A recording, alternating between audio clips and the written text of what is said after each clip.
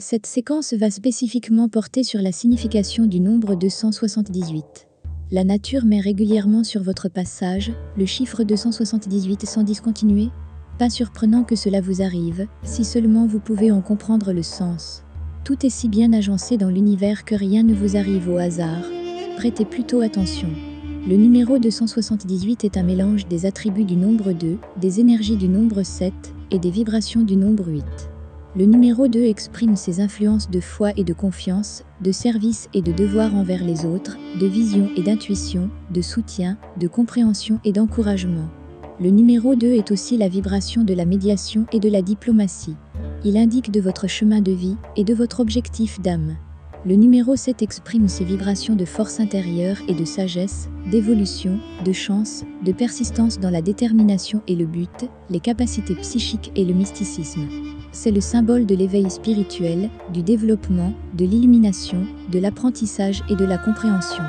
Le numéro 8 résonne avec le pouvoir, l'autorité personnelle, la confiance en soi, le don et la réception, la philanthropie et la bienveillance, la réussite personnelle, la richesse et l'abondance. Il est la manifestation de la loi karmique de cause à effet.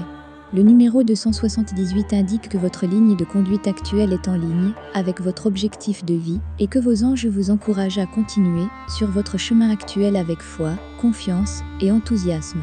Si vous souhaitez réussir, de quelque manière que ce soit, vous devez commencer par définir clairement et clairement vos objectifs. Décidez ce que vous voulez, puis visualisez-le. Tenez fermement à vos objectifs et ne vous laissez pas distraire par des pensées d'échec ou des obstacles et difficultés perçues. Ayez confiance que si vous avez l'idée et le but, il y a un moyen de les réaliser et que les ressources dont vous avez besoin seront à votre disposition au bon moment. L'humilité doit rester votre ancrage moral. Vous avez travaillé avec votre cœur pour aider et servir les autres et vous avez vécu votre vie avec amour, compassion et engagement. Sachez que vos actions entraînent un afflux d'abondance matérielle.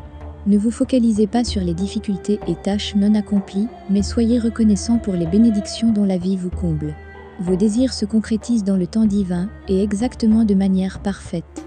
Gardez votre sérénité.